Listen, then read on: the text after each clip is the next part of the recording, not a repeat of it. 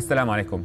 In Juz'ah number 10, Allah subhanahu wa ta'ala tells us that a sign of His love to a human being is when Allah uses His services. And a sign of Allah's despise and hate towards someone is when this person's efforts are not being utilized. What ayah from Juz'ah number 10 mentions this fact?